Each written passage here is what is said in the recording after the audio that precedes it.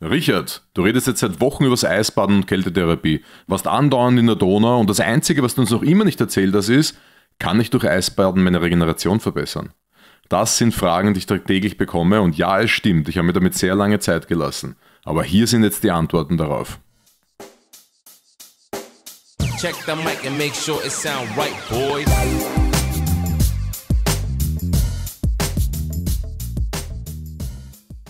Wir alle sind auf der Suche nach dem Zaubermittel, nach dem sogenannten Zaubertrank oder, oder einem Hilfsmittel, das unsere Erholung beschleunigt und uns sportlich besser macht. Ist vollkommen verständlich. Unabhängig, ob ich äh, Hobbyathlet bin, einfach nur zum Spaß ins Gym gehe oder laufen gehe, trainieren gehe, für die Ästhetik, für die Gesundheit, was auch immer. Oder Leistungssportler, Leistungssportlerin bin, damit mein Geld verdiene, den Zenit einer Sportdisziplin erreichen möchte. Es ist eigentlich für alle interessant, weil Muskelkater will keiner haben. Und man möchte auch so schnell wie möglich wieder im Gym sein, auf der Laufbahn sein, auf der Skipiste oder was auch immer, um das nächste harte, intensive Training machen zu können. Und das ist natürlich hier die größte Frage. Wie bin ich am schnellsten wieder game ready? Game ready kommt eigentlich aus dem Teamsport, dass man sagt, okay, ich habe heute Fußball gespielt, ich möchte morgen wieder Fußball spielen und wie schaffe ich es, morgen wieder dieselbe Leistung oder eine bessere Leistung oder eine ähnlich gute Leistung abzurufen? Und dafür ist natürlich äh, das Thema Regeneration bzw. diverse Regenerationsmechanismen super, super, super wichtig. Und eines ist mir ganz klar, dass Eisbaden oder Kälteanwendungen in diesem Sektor, Leistungssport und Erholungstherapie, Regenerationsmechanismen und so weiter, ist ja schon ein eigenes Business. Und Eisbaden und Kältetherapie wird seit Jahren in dem Bereich empfohlen. Und das Wichtige oder die, das Witzige eher daran ist, dass es natürlich nicht immer hilft. Und das ist jetzt die brutale Wahrheit. Eisbaden hat tatsächlich eine positive Wirkung auf die Regeneration. Absolut. Und wir müssen jetzt gleich einmal hier klarstellen und unterscheiden, wo es wirklich hilft und wo es nicht hilft. Und dabei möchte ich euch auf jeden Fall helfen. Bevor wir loslegen damit, wir haben drei verschiedene Anwendungen der Kältetherapie. Kryotherapie, äh, also eine Kältekammer, eines Eis, eine, eine, eine mh, mm, ja, Kältesauna oder, das ist kalte Luft, das wisst ihr. Oder wir haben Eisbaden selbst, das heißt, das ist immer mit Wasser in Verbindung zu setzen. Ich habe direkt Wasser auf der Haut. Das heißt, ich setze mich in eine Eiswanne, ich gehe in einen See hinein, in einen Fluss, ins Meer oder was auch immer. Ich dusche kalt und so weiter und so weiter.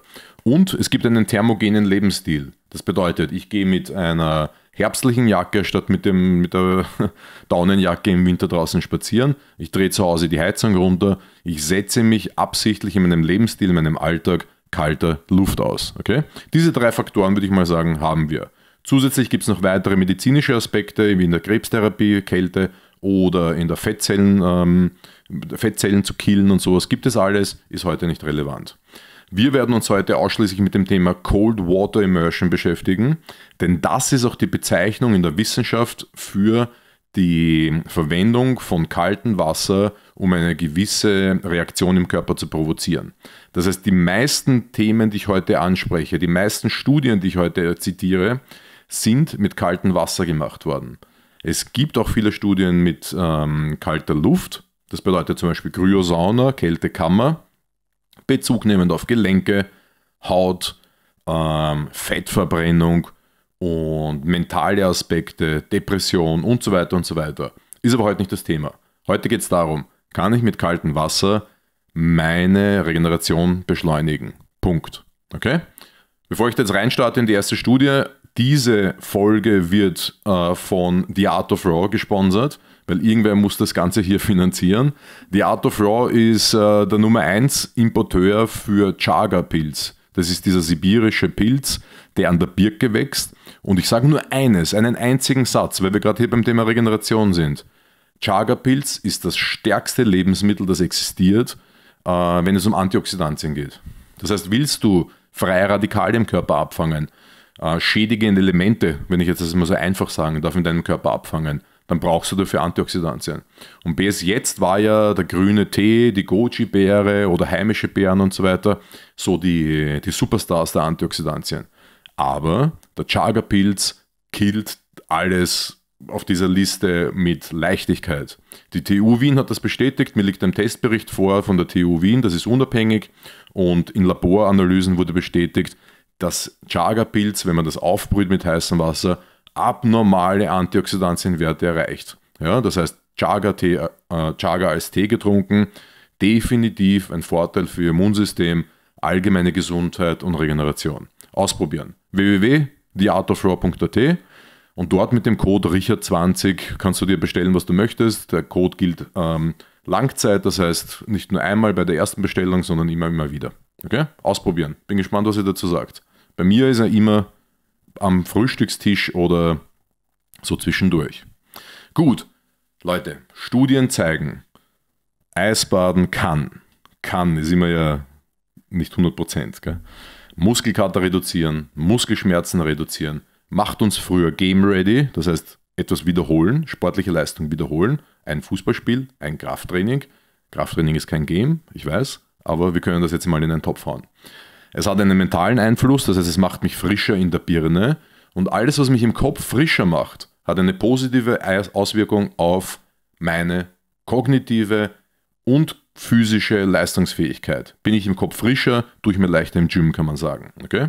Weiters werden biochemische Marker für Gewebeschädigung, die durch Training entstehen, im Körper durch Eisbaden beeinflusst. Positiv beeinflusst. Ja, das heißt, die sinken oder steigen, abhängig davon, was man sich anschaut.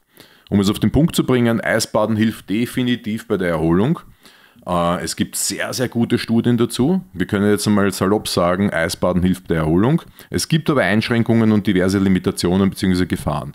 Und auf die werden wir heute natürlich auch noch mit eingehen. Allererstens, und das ist das, was die meisten Leute nur interessiert, wie sieht es aus mit dem Thema Muskel? Und ich komme jetzt einmal hier zum Muskelschmerz bzw. Muskelkater.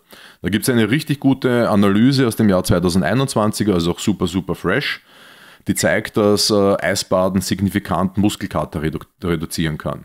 Aber nur in den ersten 24 Stunden. Das heißt, wenn ich übermorgen draufkomme, dass ich Muskelkater habe oder vielleicht gerade bekomme, dann könnte es helfen, könnte aber auch schon zu spät sein. Das heißt, in den ersten 24 Stunden ist es dann umso relevanter, dass ihr in die Eistonne hüpft oder äh, in die Eiswanne oder in die, in die kalte Dusche oder was auch immer. Ja?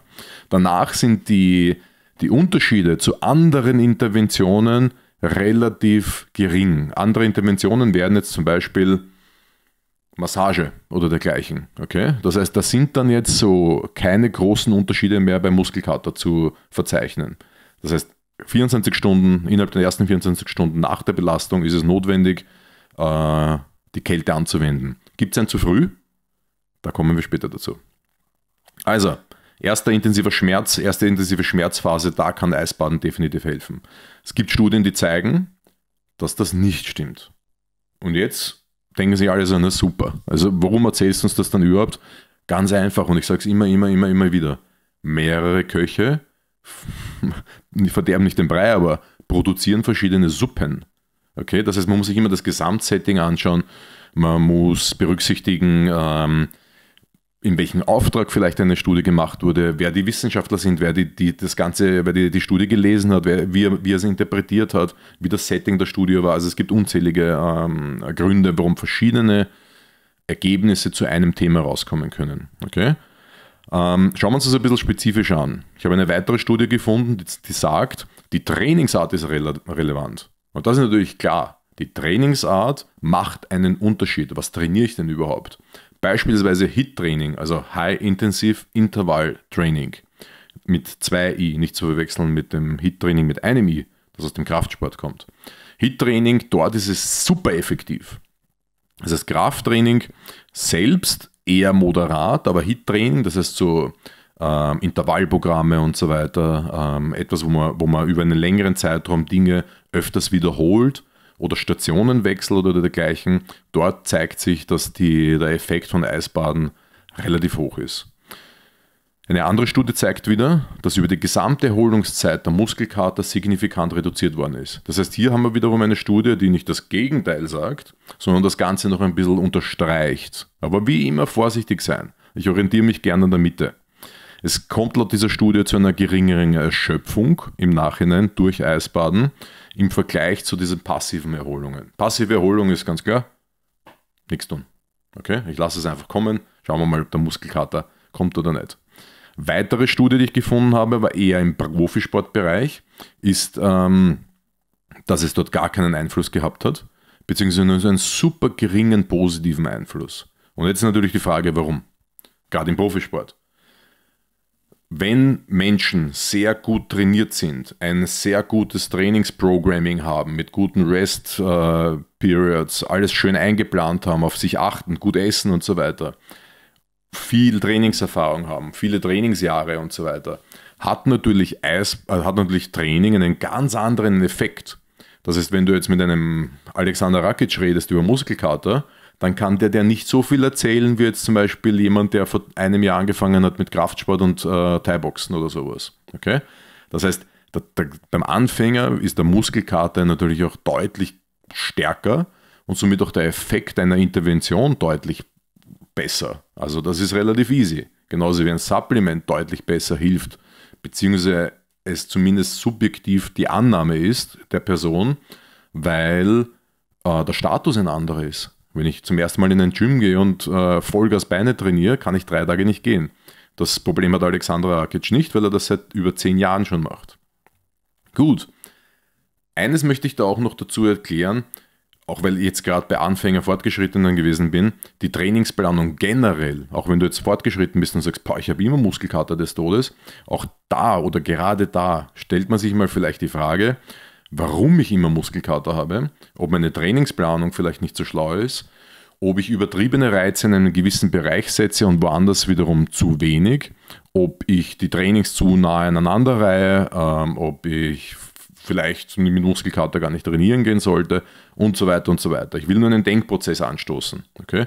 Das ist nicht so easy. Ich weiß es. Aber ähm, nachdenken und immer wieder screenen, das System, das Tra die Trainingsplanung, die man selber sich gemacht hat, die der Trainer gemacht hat, der Trainer für den Athleten, auch dort immer wieder zu screenen und zu schauen, ist das richtig? Habe ich genug Pausezeiten, Restdays, Weekends, uh, Urlaube, Deloads ähm, und so weiter und so weiter. Ganz, ganz, ganz wichtig. Ja?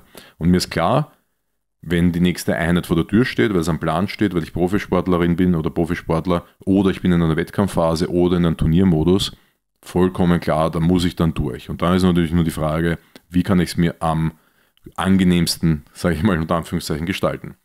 Gut, schauen wir uns was anderes an. Ich habe noch eine andere Studie gefunden im Bereich äh, der Schnellkraft und die zeigt, dass Cold Water Immersion, das heißt ähm, Eisbaden und Kältetherapie mit Wasser, Schnellkraft verbessert und das heißt Sprint oder Sprung beispielsweise aus dieser Studie und das besonders am zweiten Tag nach der Belastung.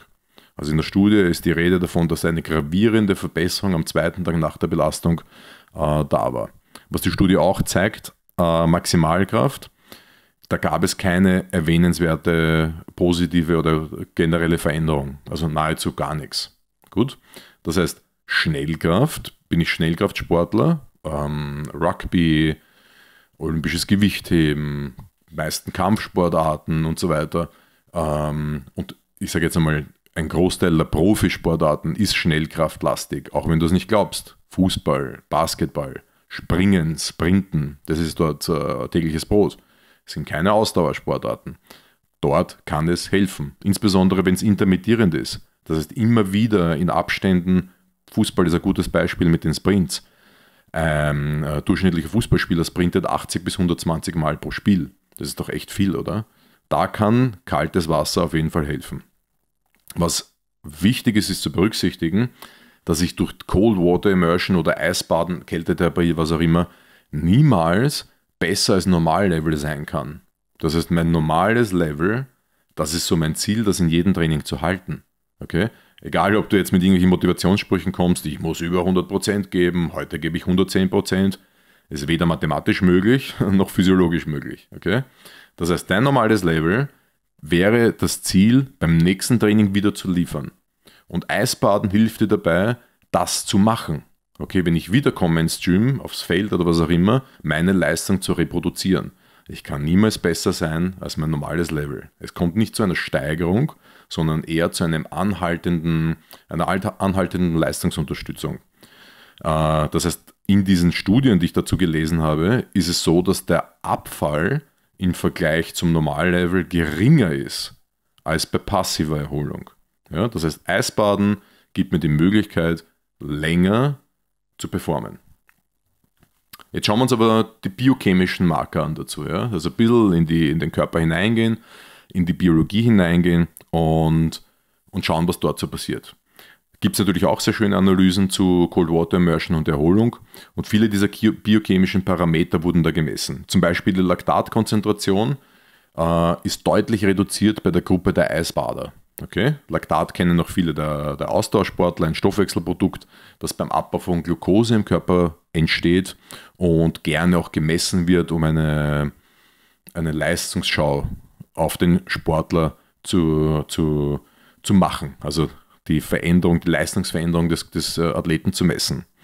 Ähm, aber Kreatinkinase-Abtransport beispielsweise kam, gab es keinen Einfluss. Das heißt, Laktatkonzentration, positiver Einfluss, äh, Kreatinkinase-Abtransport, kaum ein, ein, ein, Einfluss. Und das ist ein, eine Maß, ein Maßstab, kann man sagen, diese Kreatinkinase für die Schädigung von Muskelzellen. Okay? Das ist auch nicht unrelevant, insbesondere jetzt natürlich für Schnellkraftsportler oder Kraftsportler. Ja? Das heißt, hier jetzt mal, wir sind jetzt, sage ich jetzt mal bei der Mitte in etwa und tendenziell würde ich jetzt mal sagen, Eisbaden hat eine positive Wirkung auf den Körper.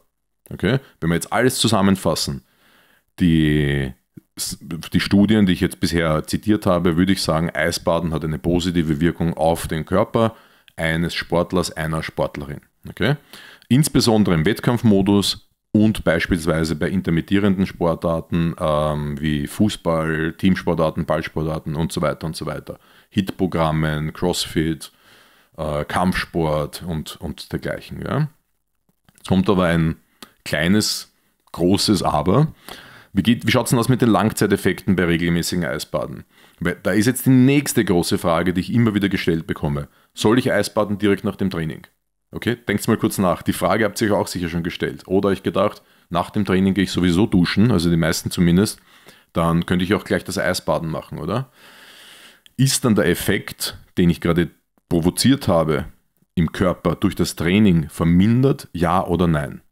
Ähm, und da muss man mal ganz stark unterscheiden, ob ich schneller game ready werden will. Ihr erinnert euch von vorhin, ich möchte morgen wieder leisten und deswegen gehe ich heute Eisbaden, um morgen eher wieder an meinem Normallevel zu sein. Super, super wichtig. Oder ich will eine Leistungssteigerung. Und da gibt es Studien, die sich tatsächlich mit dieser Thematik beschäftigt haben und insbesondere mit dem Thema Krafttraining. Und da ist ganz deutlich sichtbar, dass es hier zu einer reduzierten Entwicklung kommt. Wow, also das ist jetzt einmal super krass, weil ähm, ich bin Kraftsportler seit eh und je, seit ich denken kann. Und ähm, ja, auch ich habe schon Eis gebadet bzw. kalt geduscht nach dem Training. War wohl nicht so schlau. Abgesehen davon, dass du durch das Training schon eine Immunsystem beeinflussende äh, Wirkung hast. Das heißt, das Immunsystem wird kurzzeitig getriggert und runtergefahren, beziehungsweise der Körper wird angreifbar. Plus dem, dass du dann Eisbaden gehst direkt danach, was den, einen, einen ähnlichen quasi Verdoppelungseffekt hat. Ja? Also die zwei Sachen, die muss man mal durch, sich durch den Kopf gehen lassen. Das ist zweimal Gift gegen verschiedene Krankheiten. Ja? Das könnte sein, dass es too much wird. Aber kommen wir zurück zum Krafttraining. Große Analyse gab es dazu. Die haben sich angeschaut, Maximalkraft, Isokraft, also isometrische Kraft, Kraftausdauer und äh, allgemeine Leistungsfähigkeit. Und das Traurige an der Geschichte ist, da gab es eine Placebo-Gruppe, äh, sorry, eine, eine, eine Vergleichsgruppe dazu und die hat gezeigt, dass äh, die Entwicklung ohne Cold Water Immersion, ohne Eisbaden höher war. Okay, das heißt, die, danach, direkt nach dem Krafttraining Eisbaden im Vergleich zu nach dem Krafttraining nichts machen, hat die Nix-Gruppe eine, eine höhere Verbesserung gehabt, okay? Eine höhere Training, einen höheren Trainingseffekt, eine größere Steigerung gehabt. Yes, schade dazu. Also willst du stärker werden, dann würde ich Eisbaden nicht direkt nach dem Training machen, sondern besser ein paar Stunden später oder am nächsten Tag oder grundsätzlich seltener machen. Also wie wir zum Beispiel, also ich mache das zwar jeden Tag zu Hause, aber wir gehen einmal die Woche an die neue Donau und sind dort dann halt für, für ein paar Minuten in, in der Kälte, um die gesundheitlichen Effekte abzugreifen. Ja, also zwei bis drei Minuten würden schon reichen. Und, und wenn für dich diese gesundheitlichen Effekte wichtig sind, kannst du das genauso machen, beziehungsweise diesen thermogenen Lebensstil wählen. Das heißt, zu Hause die Heizung runter um 2 Grad, im Schlafzimmer die Heizung ausschalten, auf die Straße gehen ohne Daunenjacke, sondern mit einer leichten Herbstjacke, darunter nur ein T-Shirt und so weiter und so weiter. Es gibt unzählige Möglichkeiten. Den morgendlichen Kaffee auf dem Balkon genießen, auch im Winter oder, sorry, gerade im Winter und wenn du draußen spazieren bist, mal unterwegs auf der Prater Hauptallee und sowas, einfach mal die Jacke ausziehen und ein paar Minuten mit dem T-Shirt spazieren. Das sind Beispiele für einen thermogenen Lebensstil. Okay? So, jetzt müssen wir uns aber anschauen, warum das so ist, dass Krafttraining nicht so profitiert von dem Thema Kälte. Genau ist das noch nicht wirklich bekannt, aber es gibt ein paar Theorien, ähm, dass zum Beispiel das Eisbaden die Muskelproteinbildung äh, vermindert äh, Entzündungsmechanismen beeinflusst bzw. gehemmt werden, die den Muskelaufbau notwendig machen. Das heißt, äh, wir wissen ja, Superkompensation, wir gehen ins Gym, um zu trainieren, um etwas kaputt zu machen, also nicht die Handeln, sondern äh, Muskelgewebe. Das wird dann nachher durch Nährstoffe und Schlaferholung und dergleichen wieder repariert und dadurch stärker oder dicker oder was auch immer, also was Gutes. Und das könnte sein, dass dieser Prozess hier einfach gestört ist was durch Kälte auf jeden Fall gefördert wird. Das ist auf jeden Fall was positiv zu sehen. Kann man sich jetzt selber zusammenreimen, was das für den Muskelaufbau oder Kraftzuwachs betrifft. Die Autophagie wird durch Kälte angeregt. Das heißt, äh, unter Zelltod. Das heißt, äh, fehlgefaltete Proteinteile, die nicht brauchbar sind, die zum Beispiel in den Zelltod geschickt werden, im Körper rumlungern und rumliegen. Zellmüll wird durch den Prozess der Autophagie recycelt. Das heißt, die, die Zellpolizei wird rausgeschickt, es werden Zell, äh, Bauteile markiert, eingesammelt und dann in die Verwertung geschickt, in den, auf den Recyclinghof. Das ist mal positiv. Das heißt, dieser Müll, der normalerweise den Körper blockiert, wird zerlegt und entschieden, wegschmeißen, ausscheiden oder zurück in, die, in, den, in den Kreislauf. Ja? Das heißt Proteinsynthese. Das heißt, ich kann mich ein bisschen selber essen, positiv gesehen. Ja. Ähm, weiters habe ich gelesen, dass die Bildung der Vorläufer neuer Muskelzellen gehemmt wird. Das könnte einer der Hauptgründe sein, warum es hier keine Entwicklung gibt, zum Beispiel im Muskelzuwachs äh, direkt nach dem Bodybuilding, Krafttraining, wenn man Eis badet. Okay, das muss man, da muss man sich wirklich, das muss man sich einmal auf der Zunge zergehen lassen. Ja. Ähm, weiters auch das Thema der Testosteronausschüttung. Es kann sein, also ich habe Studien gelesen, die das bestätigen, welche die das nicht bestätigen und welche die sich da nicht sicher sind, dass die Testosteronausschüttung beeinflusst wird durch die diese, diesen ähm, Stress der, der Kälte. Ja, aber wenn wir jetzt mal drüber nachdenken, du gehst ins kalte Wasser, das ist ein Stress, Cortisol schießt drauf, ähm, dass der Körper jetzt nicht viel Lust hat, Testosteron zu produzieren, ist verständlich. Die Problematik ist die, Krafttraining regt Testosteronspiegel an, somit was Positives, das wissen wir, deswegen fühlen wir uns nachher auch ein bisschen stärker als vorher, auch wenn es nur im Kopf ist. Ähm, könnte sein, dass auch dort der Hund begraben ist, aber es ist nicht 100 Prozent. Gut, aber lange Rede, kurzer Sinn, Krafttraining und direkt danach in die kalte Dusche oder in die Eiswanne nicht so gut. Besser zwei, drei Stunden warten oder am nächsten Tag machen, abhängig davon. Also wenn du jetzt sechsmal die Woche trainierst, ist es natürlich ein Problem. Schauen wir uns aber was anderes an, das Ausdauertraining oder den Ausdauersport. Dort ist CWI, also Cold Water Immersion, Kälte und dergleichen, kein Problem, beziehungsweise nicht so ein Problem.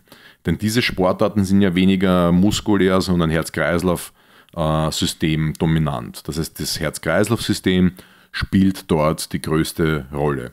Ähm, und hier ist kein negativer Effekt durch Cold Water Immersion gemessen worden am Herz-Kreislauf-System. Also im Gegenteil, wenn wir daran denken, wieder Homesis, ich schocke das Herz kurzzeitig und dadurch wird es stärker. Also ein Trainingseffekt für das Herz. Es gibt auch Ideen dazu, dass mehr Mitochondrien gebildet werden im Herz und in der Muskulatur, was wiederum eine bessere Ausdauerleistung äh, möglich machen würde, beziehungsweise eine, eine allgemeine eine höhere Energieproduktion im Körper. Aber das ist nicht ganz sicher. Aber ich werde in einer der nächsten zwei Podcasts auf das Thema im Detail gehen. Ja, weil Mitochondrien wieder ein eigenes Thema ist. Wie wisst, diese Zellorganellen, unsere Kraftwerke im Körper, die ATP produzieren. Das heißt, die uns die Möglichkeit machen, überhaupt irgendwas zu tun in unserem Leben. Kein ATP ist tot. Okay? Mitochondrien produzieren ATP. Super wichtiges Thema. Kommt in den nächsten zwei Podcasts definitiv raus.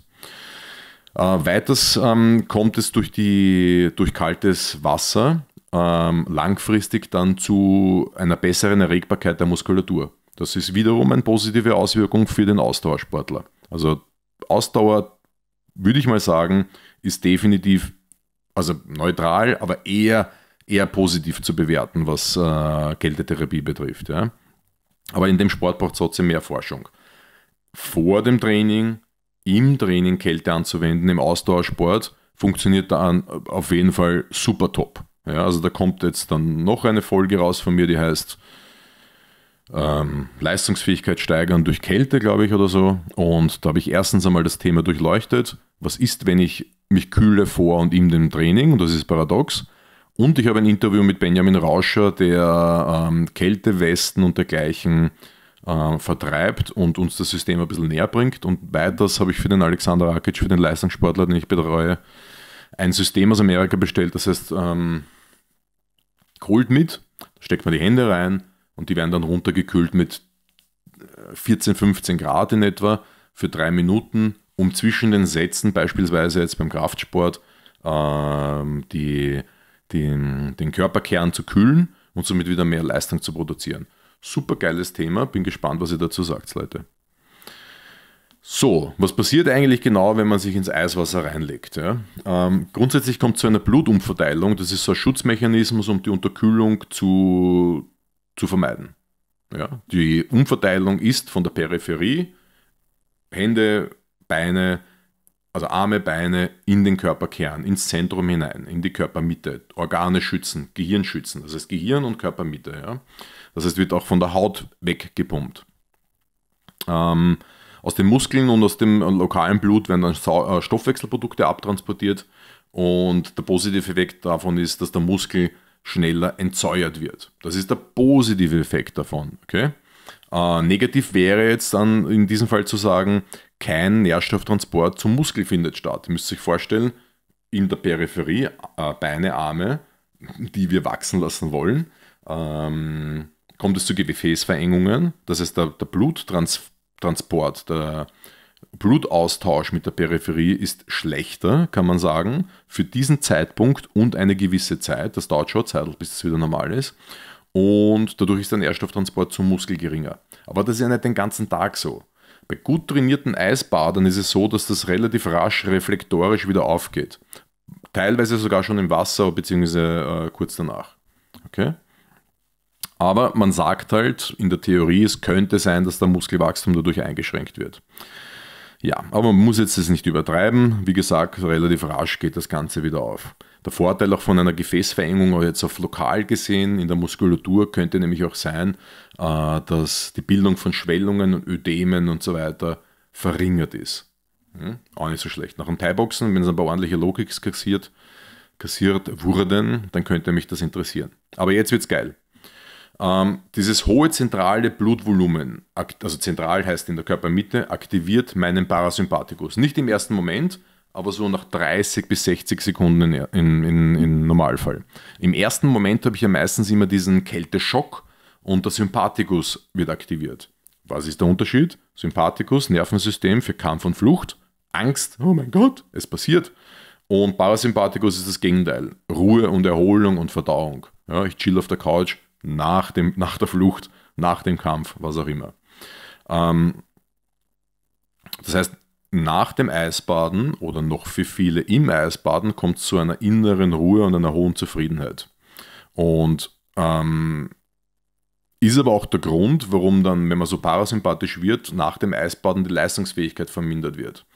Außer im Pre-Cooling. Das heißt, wenn ich Kälteeinsätze gezielt strategisch von der Zeit gering, um meine Leistungsfähigkeit anzuheben. Okay?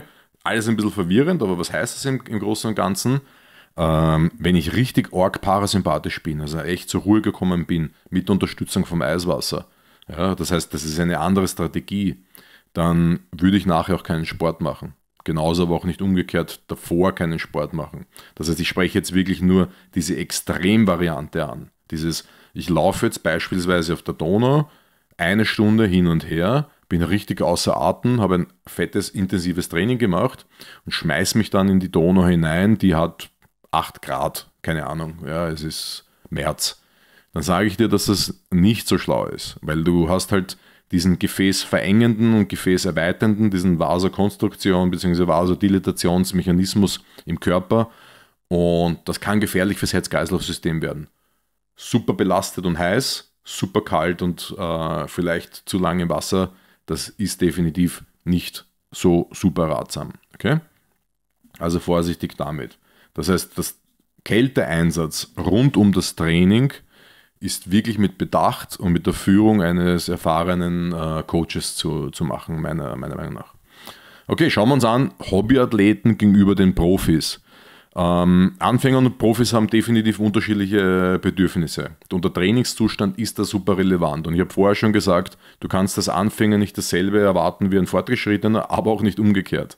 Das heißt, die Fortgeschrittenen sagen mir dann oft, also mir bringt das nichts, ich spüre gar nichts. Okay, die Studie sagt, dass das passieren sollte und du spürst das nicht.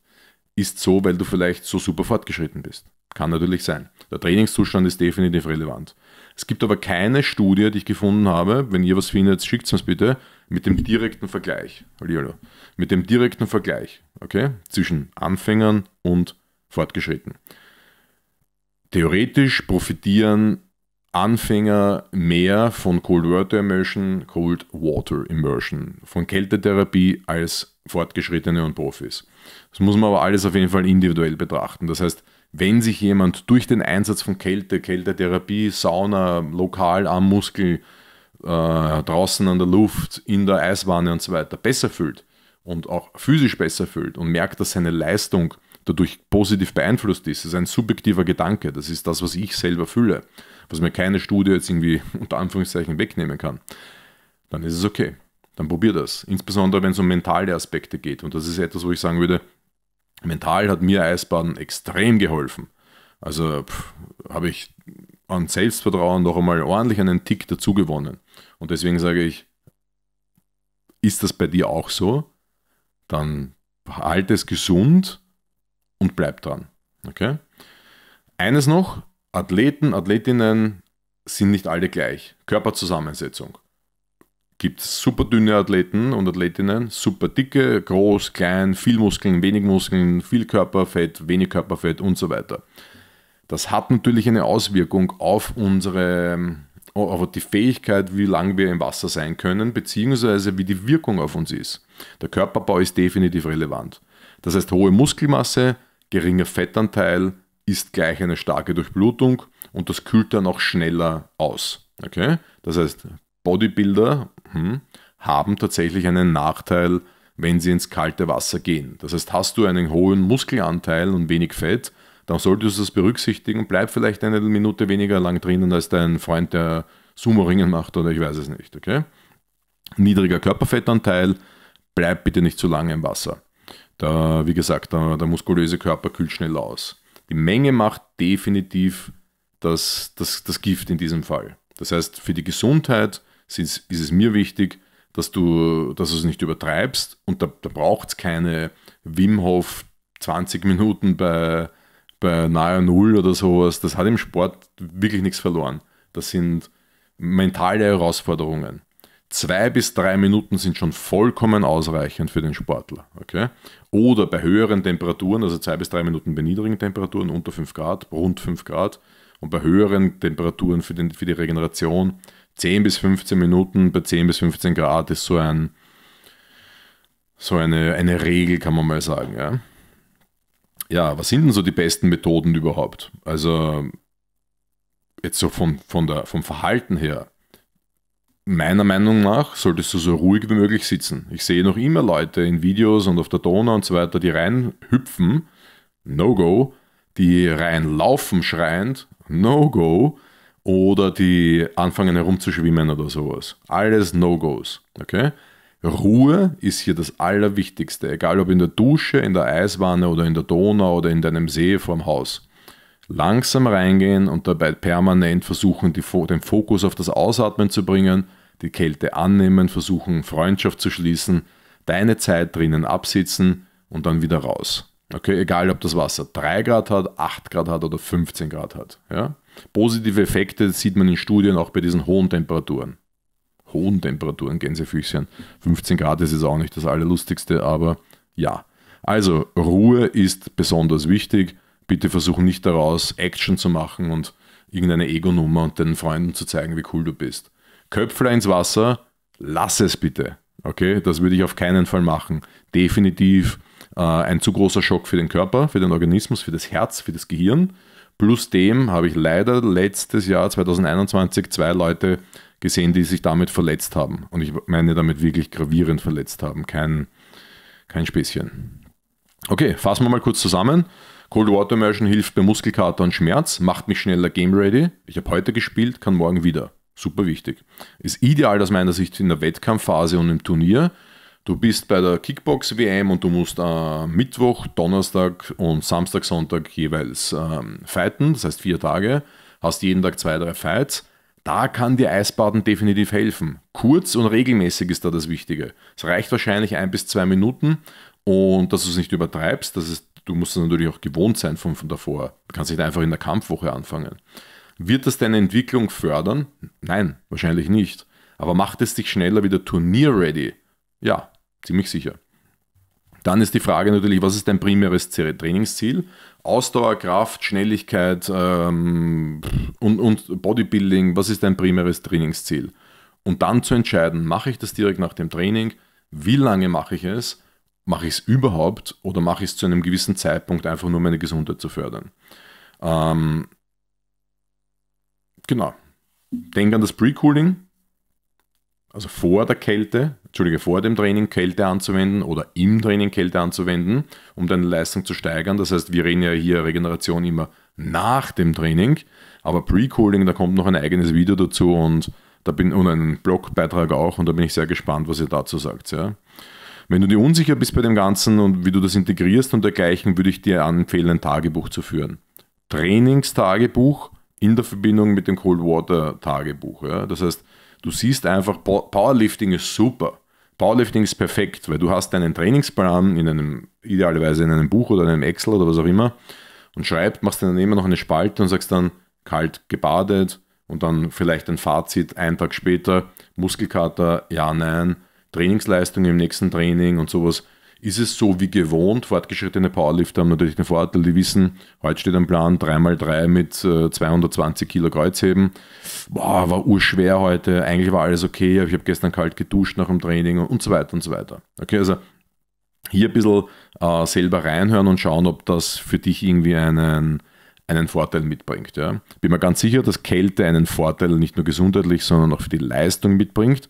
Aber wir müssen unserem Körper die Zeit geben, und äh, fair zu ihm sein und das nicht zur Ego-Nummer machen, sondern da wirklich äh, schauen, dass du daraus einen Profit schlägst, indem du einfach ähm, Rücksicht nimmst. Dein Körper braucht Zeit zur Adaption und reingehen und äh, Viertelstunde bei nahe Null im, im, im Fluss sitzen. Kann sein, dass dir das gar nichts bringt, sondern im Gegenteil du krank davon wirst, weil du dich nicht gewöhnt hast. Wie beim Training musst du dich auch gewöhnen und dann sagst, Eisbaden ist nichts für mich, da wäre ich immer krank. Okay? Das habe ich schon oft erklärt, das ist Käse, das machen wir nicht. Und deswegen geht zurück zu äh, meinem Blog bzw. Podcast, der da heißt, äh, das Einmal-Eins des Eisbadens in der Dusche, glaube ich. Da, da, ist auch im Blog drinnen so ein, ein und auch im, im, Podcast so ein, ein Chart, so ein Excel-Chart, wo ich so einen 8-Wochen-Plan reingestellt habe. Du startest einfach mit 30 Sekunden äh, knöchelkalt duschen und gehst langsam, langsam, langsam weiter. Wenn jemand zu mir sagt, knöchelkalt duschen und ich brauche einen Monat, bis ich beim Oberkörper bin, das mache ich nicht oder was auch immer, dann sage ich dir eines. Studien zeigen, dass die Fettverbrennung, die Steigerung von braunem Fett, welches weißes Fett frisst, wer das noch nicht kennt, gab es eine Podcast-Folge dazu mit Dr. Alexander Bartelt. Ähm, da, da ist es so, dass, dass das schon mit leichten Kälteexpositionen ähm, gesteigert wird. Thermo, thermogener Lebensstil. Draußen leicht bekleidet rumlaufen. Leicht bekleidet, damit meine ich jetzt nicht so in Boxershorts oder sowas, sondern wie gesagt, leichte Jacke oder sowas. Heizung runter, Knöchel äh, kalt abduschen und sowas, Waden abduschen, halbe Minute. Das hilft schon und das steigert die Fettverbrennung. Es ist so. Also Leute, Wir kommen jetzt in den nächsten Folgen relativ rasch zum Thema Mitochondrien. Ähm, werden die gesteigert? Ja, nein. Also mehr Kraft, sorry, mehr Energie durch Kälte. Ist das möglich auf biochemischer Ebene? Dann kommt das Thema Pre-Cooling, Per-Cooling. Das ist super wichtig für die Leistungssportler, die die letzten 2% rausholen wollen. Das heißt, ähm, kann ich durch Kälte Leistung anheben. Dann kommen dazu noch ein paar Interviews mit anderen, das wird ziemlich cool. Dann schauen wir uns nochmal an das System vom Cold mit. Das heißt, dies, dieses, wo man die Hände reinsteckt, da habe ich dann noch äh, Pete Hausema eingeladen, der sich das System im Detail angesehen hat und das mit Alexander Rakic einsetzen wird in unserem Trainingslager. Also es passiert noch ein bisschen was rund um Kälte und ja, dann in so zwei, drei Wochen ist dann Schluss mit Kälte. Dann machen wir dann was anderes. Okay, was das genau sein wird, erzähle ich euch noch. Bis dahin, frostige ähm, Erfahrungen wünsche ich euch und seid so gut, geht nochmal auf www.theartofraw.com äh, .at und checkt euch mit Richard 20 den Chaga-Pilz als, als Tee oder als Extrakt oder was auch immer, um eure, euer Antioxidantienniveau im Körper zu boosten. Ich sage euch, das werdet ihr nicht bereuen. Und meine Bitte für mich ist jetzt einfach liken, Sternchen hinterlassen, Kommentar hinterlassen, Frage stellen für meine QA-Sessions, weiterleiten, Screenshotten, posten, Stories machen, was auch immer. Macht's den Rich Headroom ein bisschen bekannter, Leute. Ich liebe es, das zu machen, was ich hier tue, aber es muss einen gewissen Bekanntheitsgrad erreichen, dass das Ganze auch ähm, einen Sinn hat und sich, sich auszahlt. Und ich freue mich über jede Zuhörerin unter euch und jeden Zuhörer und jeden Zuschauer, jede Zuschauerin und alle, die hier mitwirken. Alles Liebe und vielen Dank. Macht's es gut. Bis bald.